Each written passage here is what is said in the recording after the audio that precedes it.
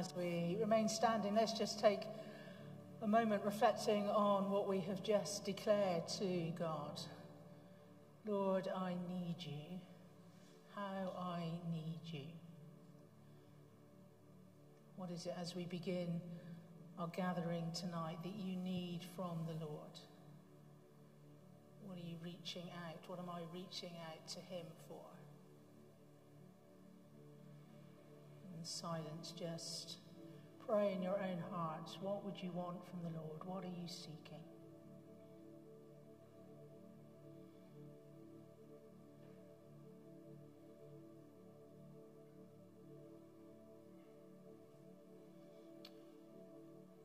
Lord, you hear the unspoken desires of our hearts,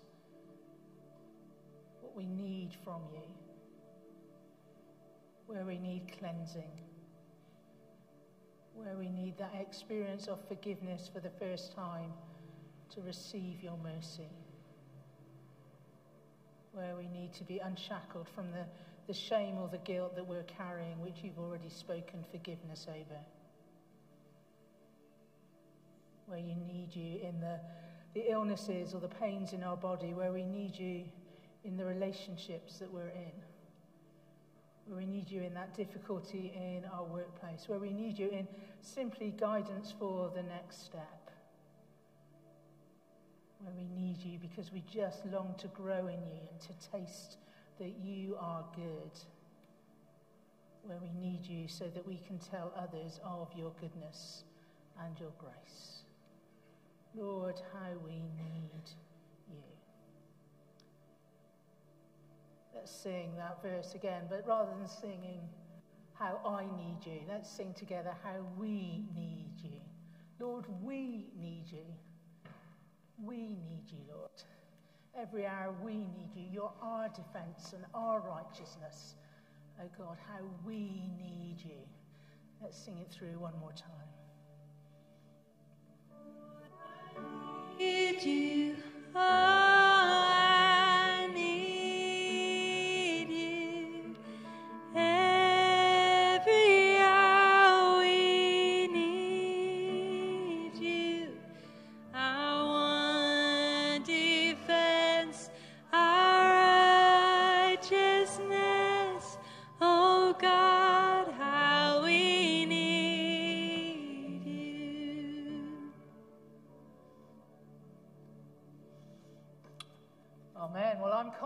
he's heard that prayer tonight. So let's anticipate.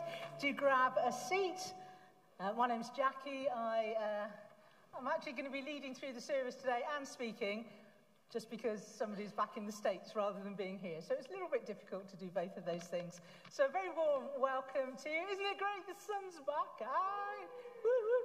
And as a result of being, well, not just because the sun's back out, but because we're kind of at that point in the year. We're about to finish a series. We're going to start a new one. Some people are coming back for their holidays because their terms are finished. Some people are. Who's on holiday, Hannah? Some teachers have broken up already for the summer. Uh, so we thought it would be a good time to do kind of ice cream and cake after the service. So we're going to enjoy our trust and fellowship. We're going to pray. We're going to sing. We're going to learn. And then as a community, we're going to eat ice cream and cake together. So that's where we're going in the course of the evening.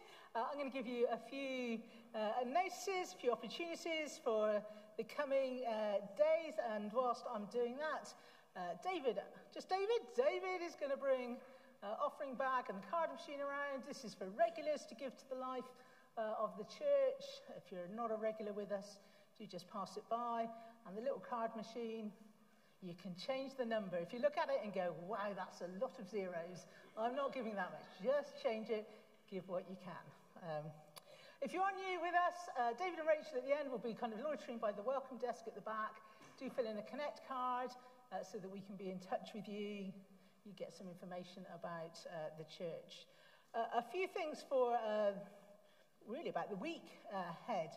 Uh, please be praying tomorrow. Hazel Deacon's funeral occurs at 2 o'clock in here, possibly not known to uh, many of you, but um, pray for her family. She's a long term member of the church as they gather with others uh, to celebrate, uh, celebrate Hazel's uh, life. Um, next Sunday, lots of things happening. 28th of uh, July. If you are a church member, I realise you're normally probably coming to this service, but if you could come along at 12.30, that would be much appreciated. We have an opportunity uh, to discuss and vote on a resolution that we need to purchase uh, number 231 Kings Road. We're almost there, uh, but we need a church meeting to pass some final resolutions. So please come 12.30 next Sunday, if you are a member, here in the King's Room, uh, so we can get that resolution uh, discussed and voted on. Then there's something else happening this weekend, I think. Something else happening? Anybody going away? There's a little bit of a youth camp happening.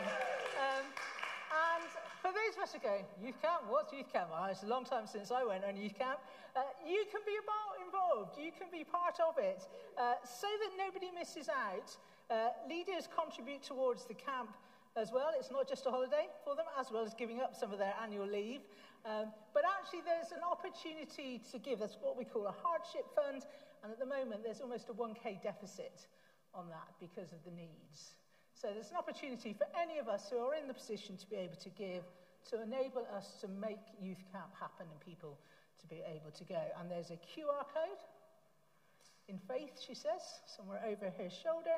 And for those of you that get Wycliffe Weekly, there's also a notice in that. And you just need to reference the gift YC, YC gift. And thank you for doing that.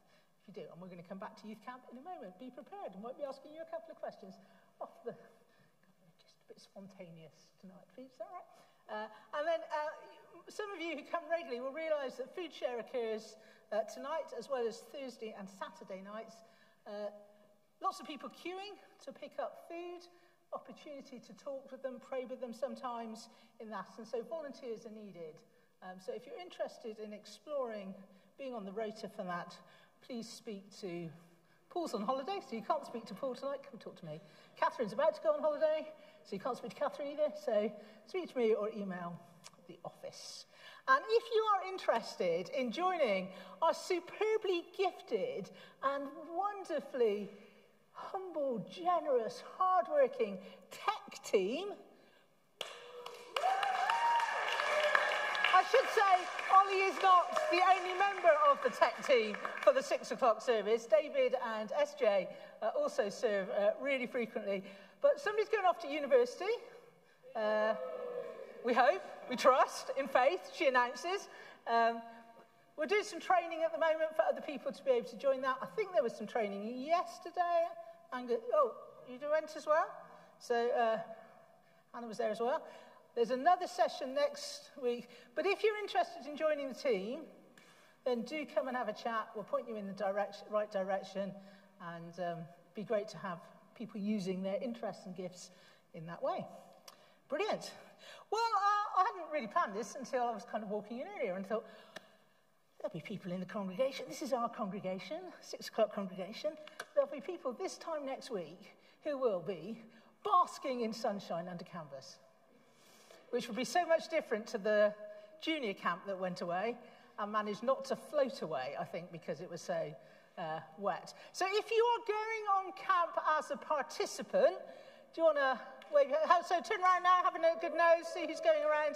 So here are some of our participants. If you are going on camp as a helper, leader, cook, something, right, have a look around. There's a few of them around. So we're going to be praying for these guys in a moment. So, Pete, do you want to come up for a moment? Anyway, Tell us how we can be praying. Well, tell us what youth camp is, because there are some new folks here. Who's it for? What's the aim? And then it's camp for youth. Hey. Is it under canvas? It is under proper canvas. Camping? Yeah, it's true. It's under canvas, proper camping. We do have a big old barn as well. It's kind of cheating. It's made of wood, not canvas. Um, it's a lovely week away. I would say, arguably, the greatest week away of the year. Am I right, youth? If they all went, no. That's ten pounds off your bills. Yeah, right? yeah. cheaper. Pay you later. Um, it's incredible. It's a week of activities, of amazing food, of kind of insane traditions that are older than me. I know it's hard to believe, and just things that have been going on for years that even the leaders don't even understand what's going on, but we love it. Um, of times of meeting together and meeting with God, uh, the, the kind of worship and prayer and kind of talks that we received, uh, just they're just off the chain every single year. I'm super excited to see what God's going to do in and around the young people. Um, yeah, it's just so much to be excited for. So, what's the topic this year? The theme of the activities is pirate camp. Yeah. and the theme of the chaplaincy, we're going to look through the story of Ezekiel, the person of Ezekiel. That well known pirate. Yeah, yeah, yeah, yeah. yeah. Elijah. So, oh, wait. Elijah. Sorry, I got the E's wrong. Elijah. I know what I'm talking about. It's okay. not like I'm giving one of the talks. Rewind there, rewind. what is the theme this year? What are yeah, you oh, looking at? I'm glad you asked. Chaplaincy theme really is Elijah. I was about to say Ezekiel again. It's Elijah, not Elisha, Elijah. It's going to be amazing. We're going to receive a lot from the Bible. I'm going to do some of the teaching, okay. but I'm right at the end, so I'll, I'll, get the name right by the end of the week, hopefully. Um, things to pray for the weather. It's looking a little dicey. It could go either way, so we don't want a repeat of kids' camp. We don't want wet tents on the back down. Um, pray that people will not just receive knowledge and information, but there would be formation, transformation, that people would meet with the real living Jesus. Amen? Yeah, yeah. We want, we want some of that. Young people and leaders meeting with real Jesus. Um, and also just safety, peace, joy on the camp. There's so much that could go wrong. he says as he does his risk assessments this week. Um, just prayer, prayer that everyone is happy and wholesome and healthy. Yeah. Great. So that's year seven to 13? Sevens to 13s, yeah. Brilliant.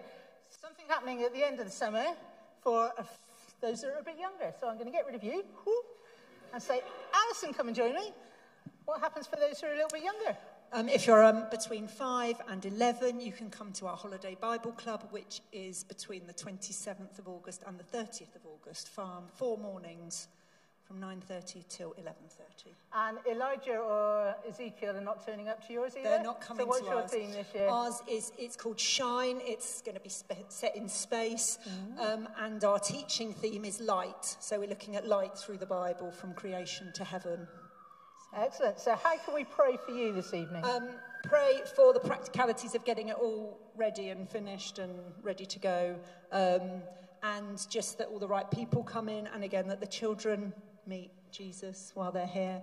Um, and we have a really awesome time. And um, yeah, it's really, again, transformative for the children. And lots of young people serve. So it's really good training for them. It's a real training ground as well for our young people.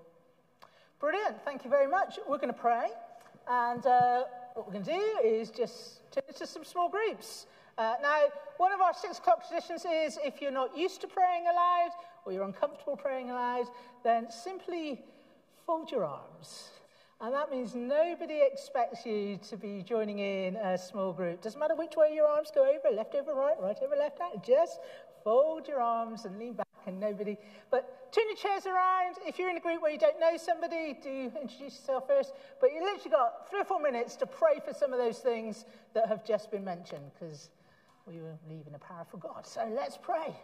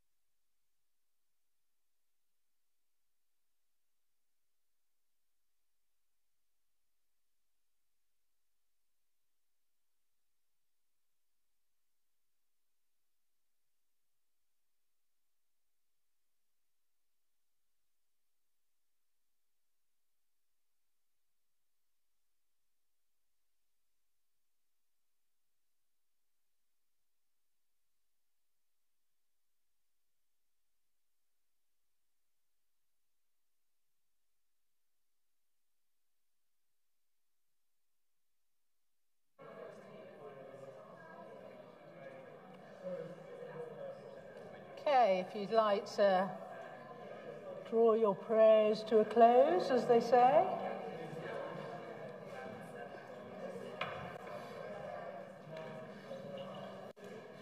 And whilst the last few people are finishing their prayers, if you'd like a Bible, uh, please do put your hands in the air so we can give out some Bibles.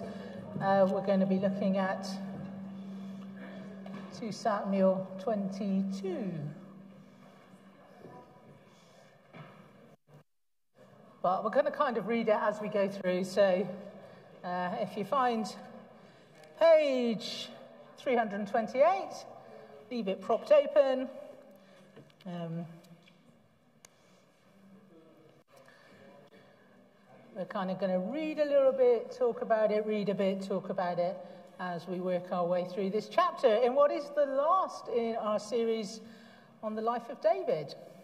Um, so let me pray as we come to hear God's word.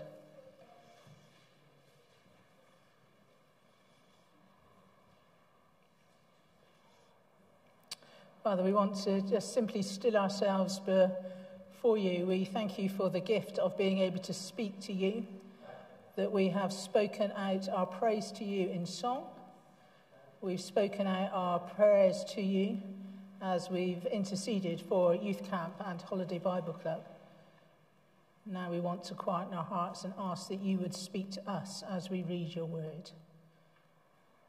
The voice of Yahweh, the living God speaking to us. So we ask for the help of your Spirit, ask for clarity, ask that you would be made big in our minds, our imaginations, and that, Lord, you would strengthen us through these few moments we spend in your word. Amen. Well, I don't know whether you've ever had a season in your life where you've had absolutely no idea what God is doing. Uh, as you look back, you think, you know, you might have been looking for guidance for the future. Uh, perhaps you've been facing opposition, whether in your workplace or in school. Perhaps you've been experiencing relationship difficulties. And you just wonder, what on earth is God doing? And uh, perhaps for some of us who are a little bit older, we look back and we go, oh, do you know what? I've known a number of those in my life. Uh, perhaps you're just starting out in following uh, Jesus, and you can just begin to see some of those kind of periods in your discipleship. Or perhaps you're in one of those at the moment, and you go, Jackie, got absolutely no idea what God is saying to me, what He is doing. And it's not that God is absent. That's a different feeling, a different experience. It's just simply that we become bemused at what is happening. Um, you know, we wish perhaps God was just a little bit more obvious. I've had those seasons where I've just felt like, God, if you could just have some flashing lights. You know how planes come into land and the kind of runway is lit up, and you almost want to go, God, could we not have that for a while? No, flashing lights. This is the way to go, Jackie. Just do this. And in the meantime, in those experiences, what do we do? Well, we should be being faithful, obedient. We act rightly. We do what God has asked us to do. And then perhaps it's only with time that we get to look back and go, ah, the light bulb moment. That's how God answered those prayers. That's what God was doing. That's how those circumstances fitted together. And I have a sneaky suspicion that the longer we live and the more we follow Jesus, uh, the more we have those seasons, the more we begin to be able to, to do that. And that then kind of strengthens us in the present. But for those of us who can look back and see those, I wonder how we tell those stories. I wonder how they form part of our, our testimony, whether we gloss over them, whether we minimize them, or whether we kind of subtract them to a few words. Well, in 2 Samuel 22, we are reaching the end of David's life. And we're having him tell his story. And we've looked at parts of the story as a six o'clock congregation over the past couple of months. And we've seen uh, losses, we've seen opposition, we've seen blessings, we've seen deliverance, we've seen huge mistakes, we've seen restoration, we've seen kindness, amongst other things. And as for those of us who have been around for the series, as we look back over those experiences, I wonder how we would graph them together in a kind of closing summary what we might expect to find in this chapter. And what we have here in chapter 21, 22, sorry, is 51 verses. Of David's testimony, of David's story. It's paralleled in Psalm 18. And in you might expect David to pen words that have him as the great and powerful king, that you'd expect him to be the focus of the story. And yet, instead, we are going to hear of a great and powerful God. And I think it is a timely reminder, a timely example of who the hero of all our stories are, particularly in an age of celebrity. It actually isn't about us. The hero of our stories is the God that we follow. And the way that David looks back over certain events in his life and sees the hand of God also helps him stand in the present. It enables him to trust God in the now.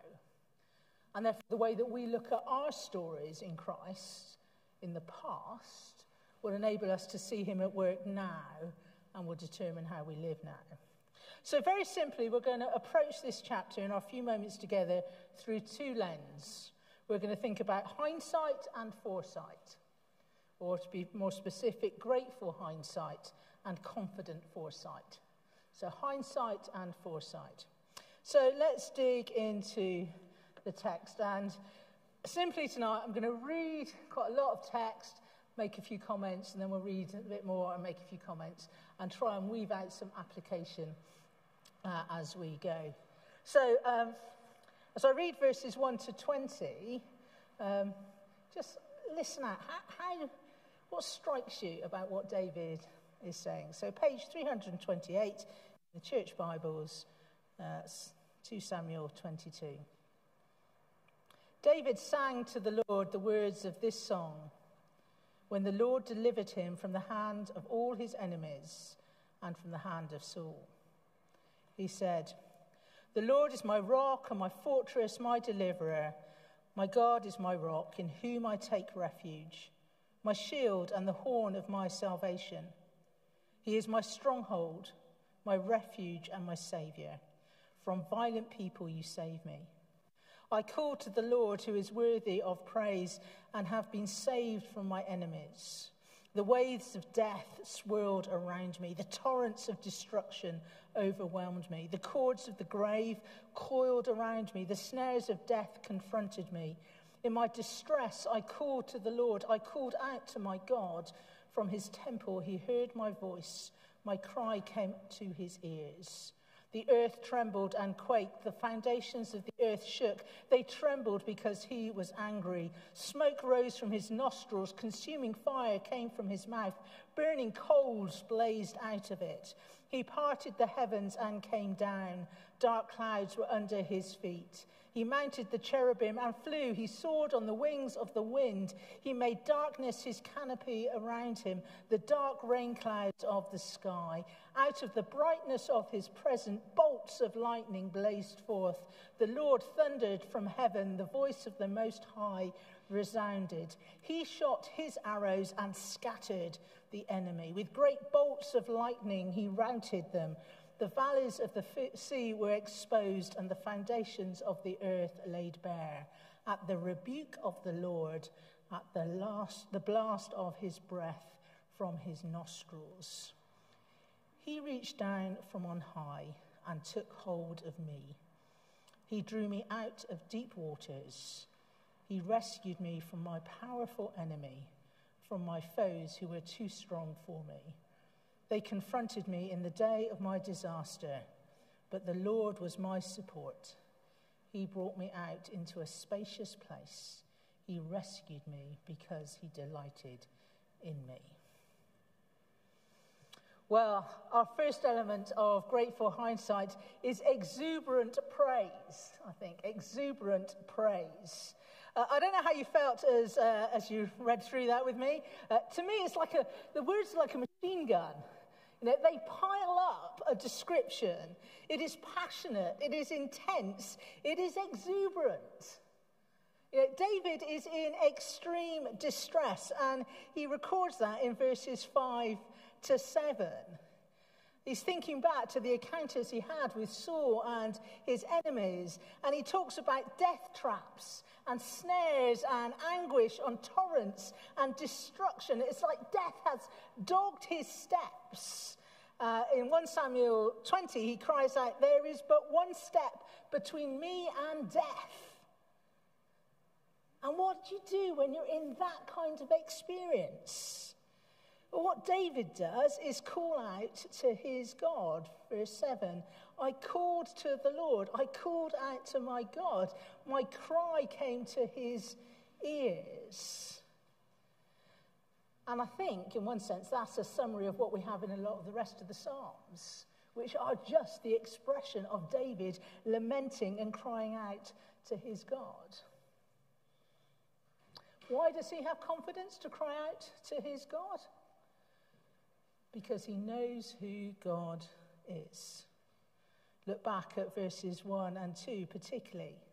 And you see the names of God, what God is building up and coming out of David's mouth rock, fortress, deliverer, shield, horn, refuge, savior. This is who you are, God. This is how you have acted towards me. Now, the language is poetic. I think I passed my English back in school a long, long, long time ago, but I never really got the hang of poetry. Sorry for English buffs out there. Um, you know, trying to write an essay on what a poem was about and what it was mean. Ugh. Anyway, but this is poetry. This is graphic. It kind of, in one way, is describing God similar to what you might find in Exodus when um, Moses encounters God on Mount Sinai.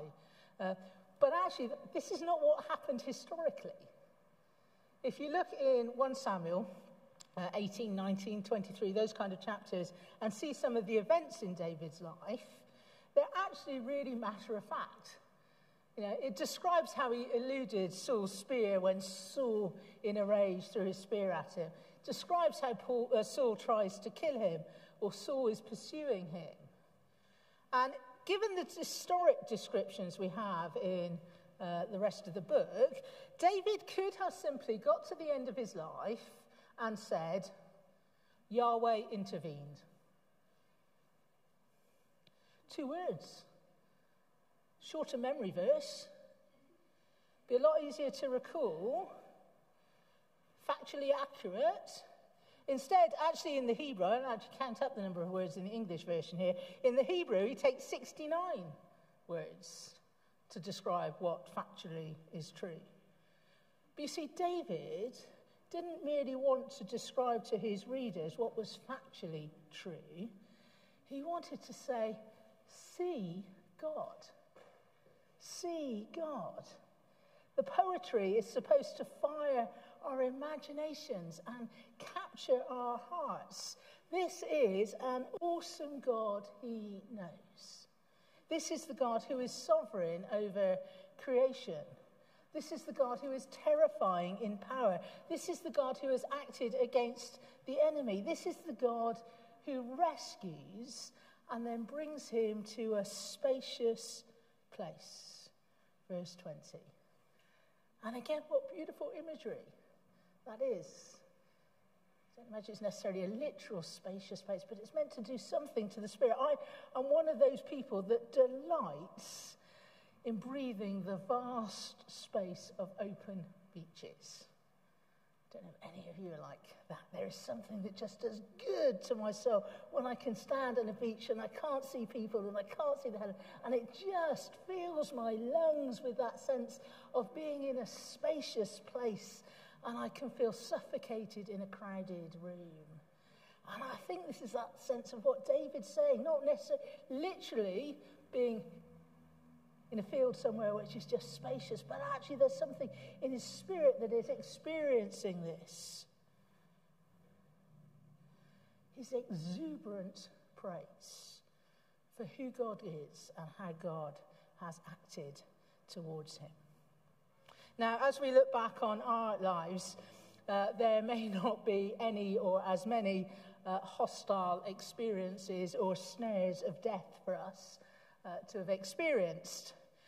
But in a room looking at you, if you look around for a moment, I imagine amongst us, we have experienced confusion and distress and disappointment and bemusement and anxiety.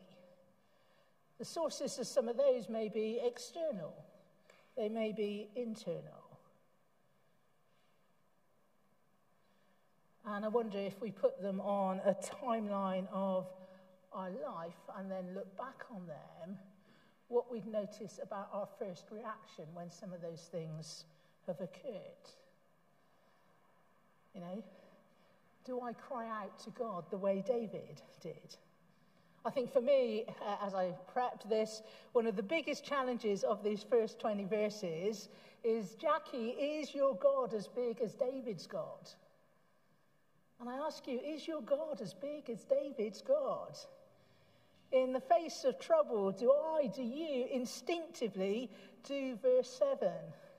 Or do I kind of go, right, option one, uh, try and sort it out for myself? Okay, that's not one going very well. So what do we do? Option two, wait until all other avenues have failed and then perhaps eventually call out to God. You see, there can be a gap between what I know in my head about who God is, as David describes him, and actually what I do. But as we look and see what David does, and see how God works in his storyline, hindsight should make me a poet. Hindsight should make you a poet.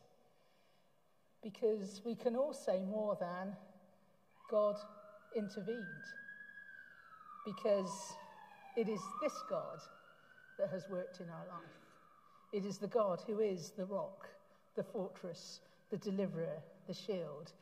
It is Jesus who fulfills all these descriptions in the way he acts towards you and me and brings us to those spacious places. And that should stir exuberant praise.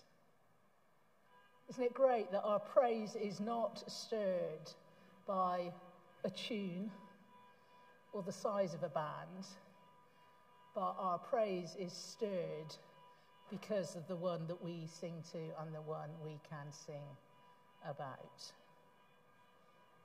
So, second bit of hindsight, uh, let's read 21 to 31. And uh, this I've entitled Extreme Righteousness. So, we've gone from uh, exuberant praise now into extreme righteousness. See what you make of these verses. David continues The Lord has dealt with me according to my righteousness. According to the cleanness of my hands, he has rewarded me. For I have kept the ways of the Lord. I am not guilty of turning from my God. All my laws are before me, or his laws, sorry, are before me. I have not turned away from his decrees. I have been blameless before him and have kept myself from sin. The Lord has rewarded me according to my righteousness, according to my cleanness, he in his sight. To the faithful, you show yourself faithful. To the blameless, you show yourself blameless. To the pure, you show yourself pure. But to the devious, you show yourself shrewd. You save the humble, but your eyes are on the haughty to bring them low. You, Lord, are my lamp. The Lord turns my darkness into light. With your help, I can advance against troop. With my God, I can scale a wall. As for God, his way is perfect. His lo- the Lord's word is flawless. He shields all who take refuge in him. So, question for those who've been around for the past couple of weeks How do you hear this section in the light of our last couple of sermons. What have we most recently looked at in David's life? A couple of weeks ago. Nick preached uh, on it for us. What do we look at? What, what, oops, major failure on David's. David and Bathsheba, yeah, major sin and failure. Not only do you commit adultery, David, you go there and try and cover it up by murdering her husband, and dot, dot, dot. Um, so, how do we read these words in line with what we have discovered about David? You know, is David having a senior moment? He's at the end of his life and he's just forgetting parts of his life. It's like, you know, no, no, I can't even remember that bit. Bathsheba? Bathsheba who? What, what was going on then? Uh, or is he having that kind of airbrushing out the behaviour that's rather inconvenient and doesn't fit with his role as king? You know, party, what parties? We didn't hold any parties. Yeah, rather inconvenient to confess to parties. Uh, is that what's going on? Well, no. Uh, to both of those possibilities, I think David here at the end of his life is speaking of the general trajectory of his life. It's a strap line that would go over it. He's not speaking of specifics or details.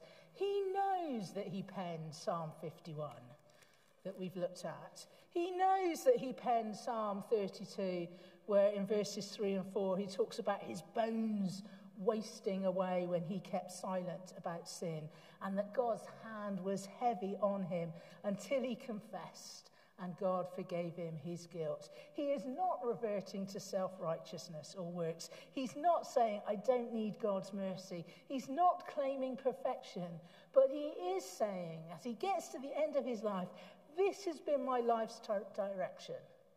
It has been one of integrity, of wholeness, of completeness. I have sought to live God's ways even in difficulties. And therefore, as he's getting to the end of his life, he is able to say that he has been faithful, that he has been blameless, that he has been pure, that he has kept himself from sin because he has not turned from God. He is finishing his life trusting in Yahweh. Uh, the theologian of a number of centuries ago, John Calvin, wrote of this David sometimes fell into sin through the weakness of the flesh, but never desisted in following after godliness, nor deserted the service which God had called him to.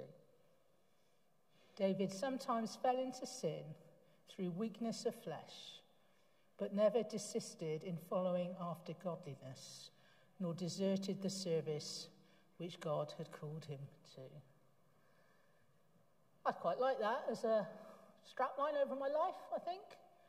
Jackie sometimes fell into sin. Well, no surprise there, through weakness of flesh, but never desisted in following after godliness nor deserted the service which God had called her to. Do you like that over your life? Is that a strapline that's worth pursuing? We will sin. We will fail. And we are grateful that we have a greater king now than David, one who actually fulfilled this not in just in the general terms, but in all the specifics and never sinned, and who has given us his righteousness. So, two applications to meditate on to take into the week. Firstly, am I, are you living from the place of knowing that we have been declared righteous in Christ? Christ has fulfilled all of this, and we are in Christ. And therefore, we do not need to be entangled by shame or regret. That inner voice that may come and condemn us. Are we in a situation where actually you'd go, Jackie, I don't know that I can take this as a general over my life because I'm too aware of the specifics? Well, that may be so. But Scripture speaks of the fact that God takes our sin and, as far as the east is from the west, separates it from us. He hurls it into the sea and places that kind of no fishing sign over it. He has declared you righteous, and therefore be faithful, be blameless, be pure. And then I think simply the question is is this trajectory ours? Though we still sin, is our love and loyalty to God seen in our continued obedience, wherever He has placed us? At school, in a non Christian home, in a workplace, wherever it may be. Well, let's finish our last section, verses 32 onwards, and we're going to move from hindsight to foresight. I'm going to read the chapter, and this is our expectant hope. Expectant hope. For who is God besides the Lord? And who is the rock except our God? It is God who arms me with strength and keeps my way secure. He makes my feet like the feet of a deer. He causes me to stand on the heights. He trains my hands for battle. My arms can bend a bow of bronze. You make your saving help my shield. Your help has made me great. You provide a broad path for my feet so that my ankles do not give way. I pursued my enemies and crushed them. I did not turn back till they were destroyed. I crushed them completely and they could not rise. They fell beneath my feet. You armed them with strength for battle, armed me with strength for battle. You humbled my adversaries before me. You made my enemies turn their backs in flight, and I destroyed my foes. They cried for help, but there was no one to save them. To the Lord, but he did not answer. I beat them as fine as the dust of the earth. I pounded and trampled them like the mud in the streets. You have delivered me from the attacks of the peoples. You have preserved me as the head of nations. People I do not know now serve me. Foreigners cower before me. As soon as they hear of me, they obey me. They all lose heart. They come trembling from their stronghold. The Lord lives. Praise be to my rock. Exalted be my God, the rock, my Saviour. He is the God who avenges me, who puts the nations under me, who sets me free from my enemies. You exalted me above my foes. From a violent man, you rescued me. Therefore, I will praise you, Lord, among the nations. I will sing the praises of your name. He gives his king great victory. He shows unfailing kindness to his anointed, to David and his descendants forever. Did you notice, as we read through, and keep your eyes back on the passage, the wonderful mix of I statements and you or he statements in this? It's just kind of meshed together. In one breath, David is saying, I did this. And another moment, he's saying, God has done this. There is just such a clear ownership by David that everything is under God's power. So in verses 32 to 43, we have his, his victories being described. And David says, I pursued, I didn't turn back, I crushed. And then he'll also say, But you acted, you humble, you made. See, the kingdom was not established by David's action, but by God's power and promises. He then, in verses 44 to 46, describes his rule as king, and then from 40, verse 47, his exaltation as king. And all the way through, he's testifying to what God has done to establish the kingdom. David has stepped into what God is doing. David, though, has not been inactive. It hasn't just been a case that David was able to sit back and go, I'll let go and let Yahweh.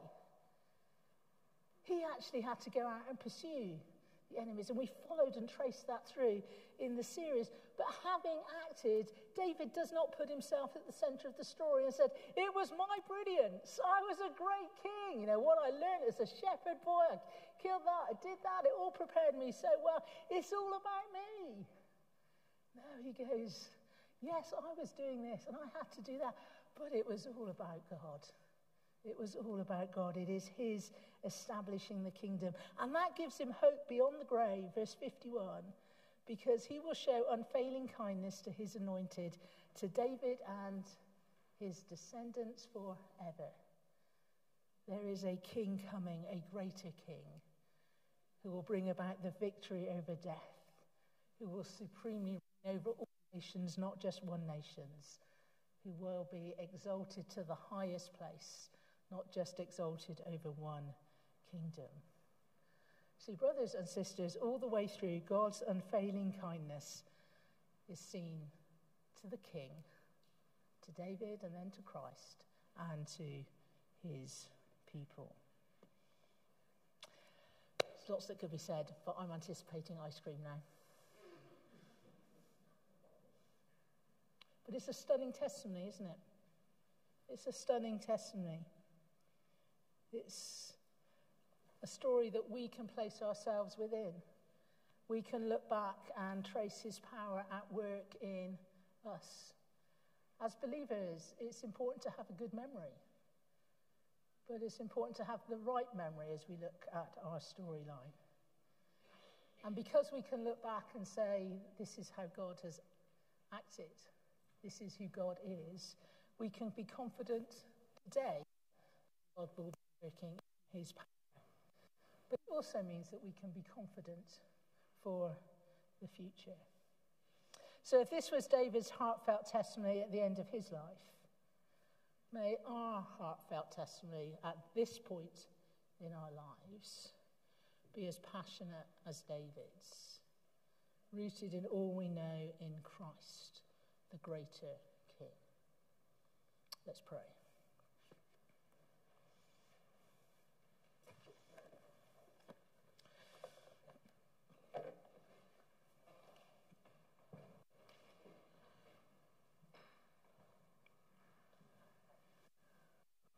Father, um, you know our hearts, you know what's going on uh, in our circumstances at the moment.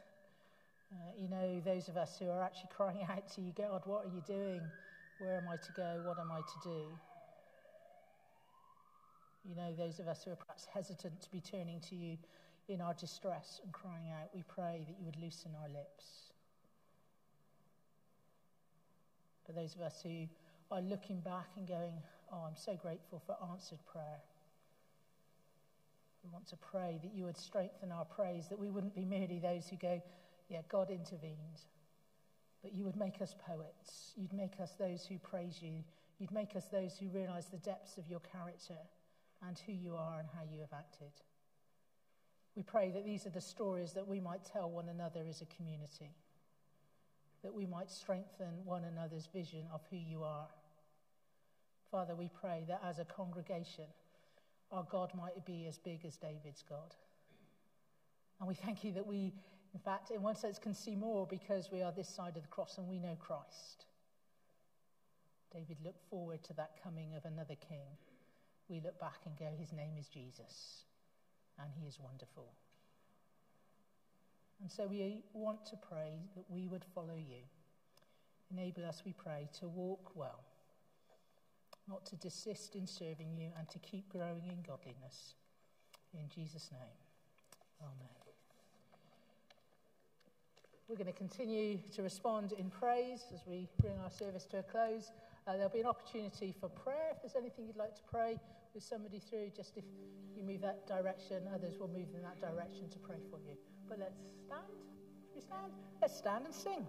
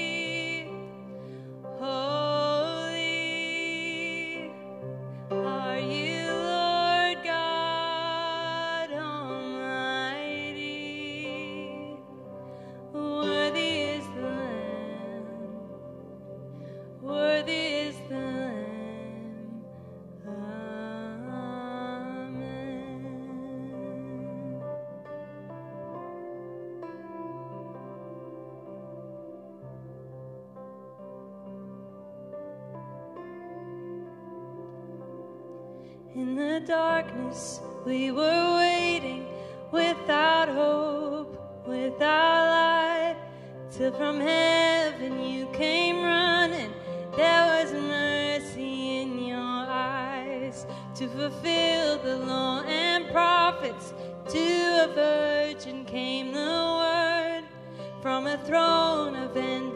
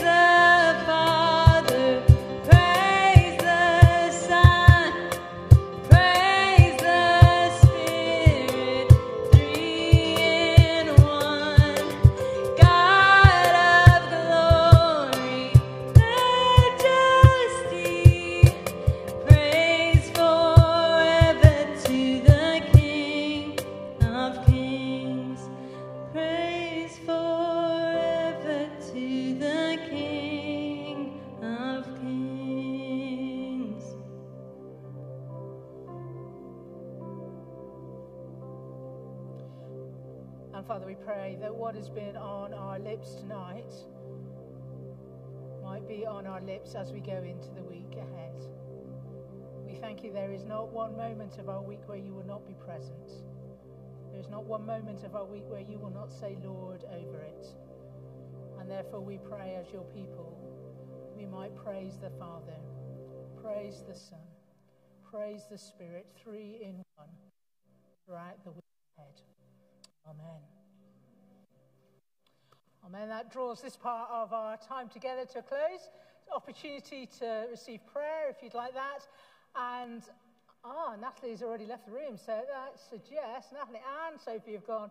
Ice cream and cake will be making their way into the room any moment. So do stay around, talk to new people, enjoy, and uh, have a great week.